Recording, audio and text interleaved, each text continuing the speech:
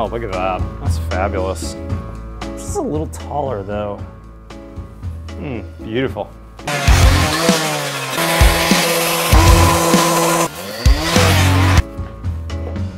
Hmm, just a splash more olive juice next time. Oh, this color is beautiful. Look at that. Copper? I bet that's a hot new trend.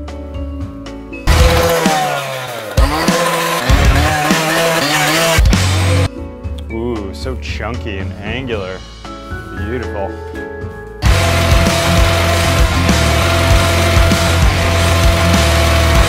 Ooh, you know it's copper because it's made from pennies.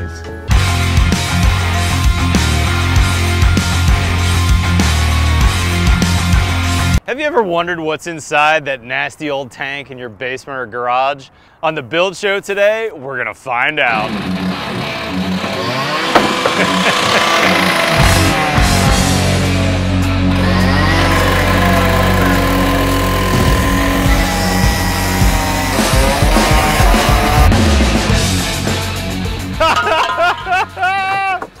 nice, Jordan. Well done, my man. Just flap it back, that's fine. Very interesting. Look at that scale. What we've got here is scale from the hot water is building up on the whole inside of the tank. So let's see if we can flake some of this off here. So look at that right there. It looks like sand, but what you're seeing actually is mineral deposits in the water are depositing on the outside surfaces of this water heater. So on the on the tank walls, it's depositing. It's depositing on the flue, and it's going to deposit probably pretty heavily in the bottom of the tank. Although interestingly enough, there's less in the bottom of the tank than I than I thought there might be. So look there. That's all scale. It looks like sand, but believe it or not, that's scale. Now that, I'm assuming that's calcium and some other minerals that are inside the water. Now this is an old tank. This is our oldest tank in the bunch, and this is a gas tank. So let's go cut some other ones up and see what else we see in the other ones. Next up, 2001 electric.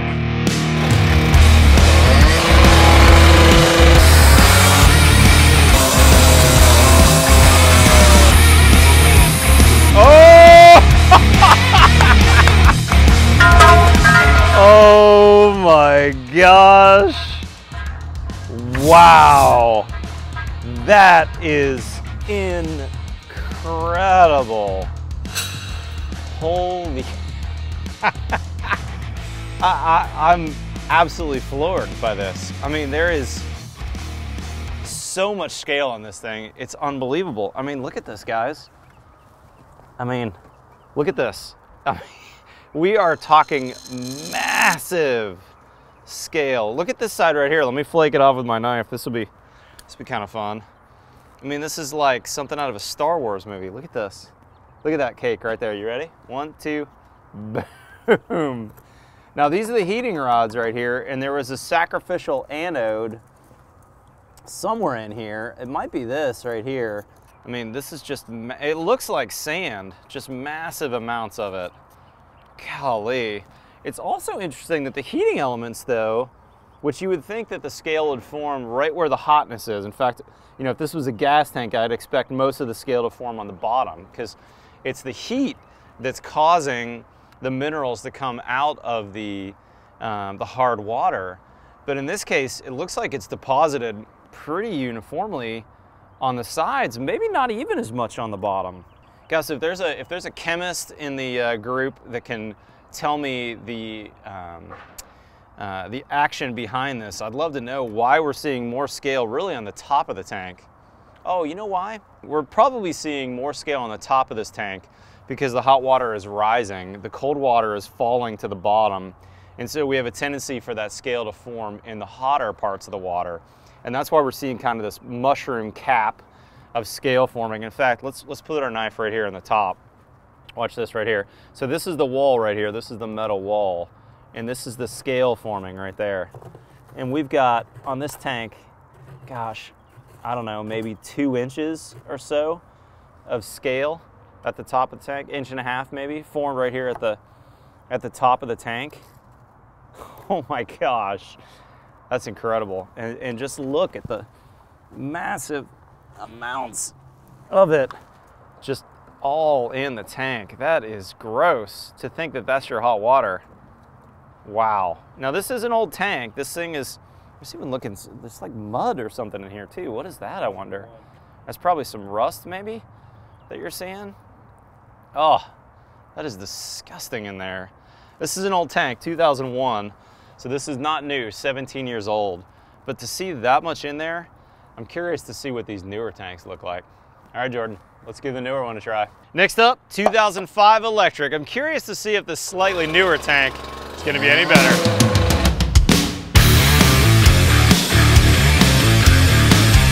Oh, that lifted right off. Oh my gosh, so interesting. Look at that, guys. Not nearly as much scale. Gosh, I don't know what to make of this. Look, guys, we've got scale for sure. I mean, look at that. There's no doubt there was scale here. But what's really interesting is, unlike the last one that had that massive scale cap, look at these walls. I mean, these walls look amazing on this unit. Even the top, nothing on there.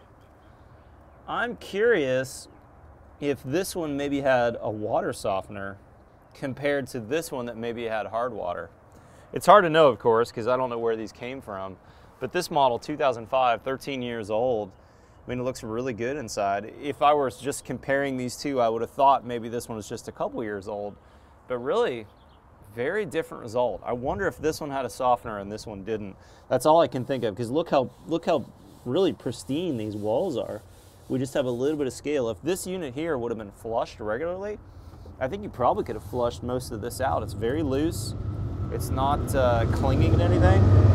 All right, now let's get on to uh, a slightly newer gas unit and let's see what this one looks like. Okay, last up, 2016 gas.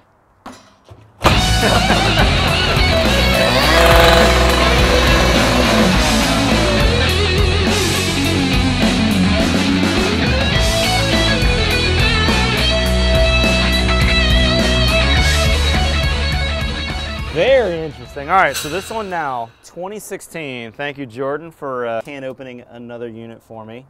Look at this. Really not much at all in the base of this. Again, the sides look good. Just a little bit of scale here. But uh, overall, this one looks really good. Very interesting to see four different units, two gas, two electric, one that looked terrible, and the others not horrible. All right, guys, so let's close this out. Very interesting and varied results inside these four units. You know, the newer units, well, actually, this one's actually fairly old, 2005, not that new. Not very much scale and really nothing building up on the walls on the inside. I think that maybe if these units uh, had a regular flush, they probably would be in good shape. I also wonder if this 2005 model here maybe you had a water softener and that's why really nothing happened.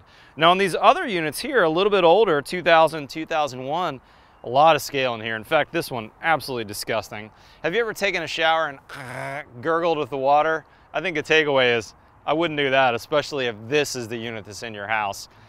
I'd love to know your opinion on these. If you're a plumber, if you're a chemist, tell me what you think is causing these differences and why you see one that's absolutely disgusting and another one that's just a couple years newer, both electric, so you can't say that it's an electric versus gas thing here.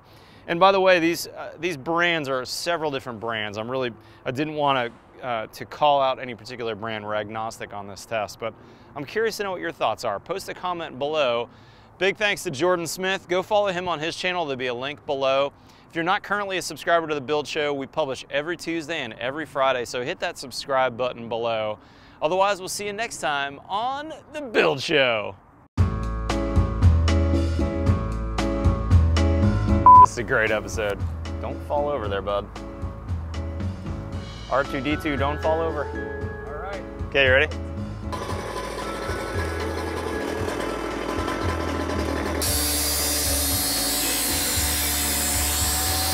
Great.